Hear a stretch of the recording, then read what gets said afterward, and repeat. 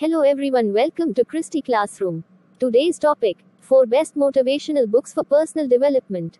Number 1 7 Habits of Highly Effective People. Powerful Lessons in Personal Change by Stephen R. Covey. Number 2 How to Win Friends and Influence People by Dale Carnegie. Number 3 Think and Grow Rich by Napoleon Hill. Number 4 Don't Sweat the Small Stuff and It's All Small Stuff by Richard Carlson. Thank you. Happy learning. Do watch and subscribe our channel Christy Classroom. Meet you all in our Christy Classroom next video. Bye.